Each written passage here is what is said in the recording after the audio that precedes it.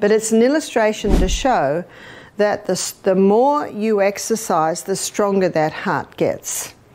And when it's strong, it, it doesn't have to beat much because every beat is so strong with the delivery of blood. It is said we only have so many beats per lifetime. So you can see the fitter the person, the, the longer the life.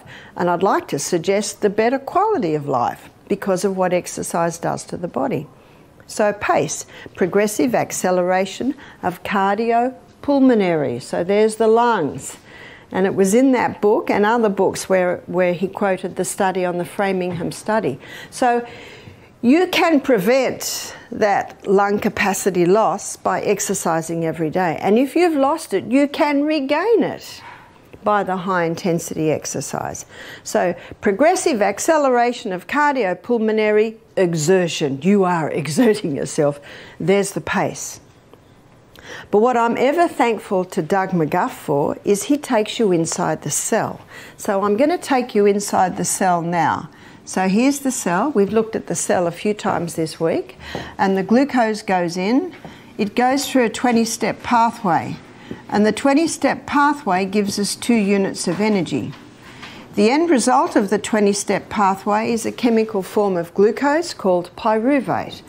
The chemical form of glucose called pyruvate is fed into the powerhouse, called the powerhouse because this eight step pathway delivers to us an impressive 36 units of energy.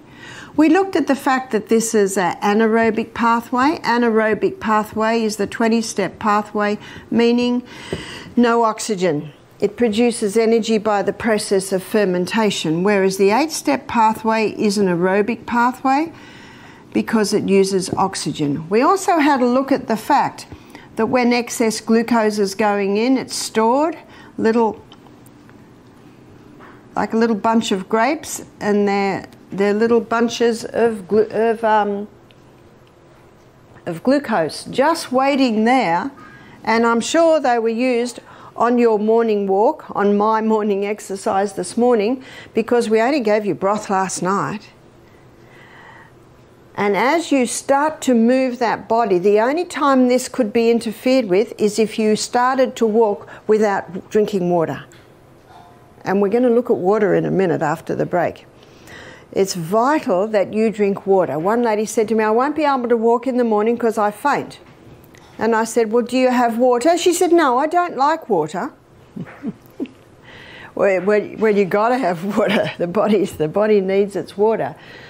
But when you drink that water in the morning and then go on your walk and your body is starting to, to uh, work, it needs more fuel, those little molecules of glucose are plucked and through the pathway, plucked and through the pathway. It's a wonderful process. We also looked at the fact that on a very high carbohydrate diet, the excess glucose, when the glycogen stores are full, is stored as fat.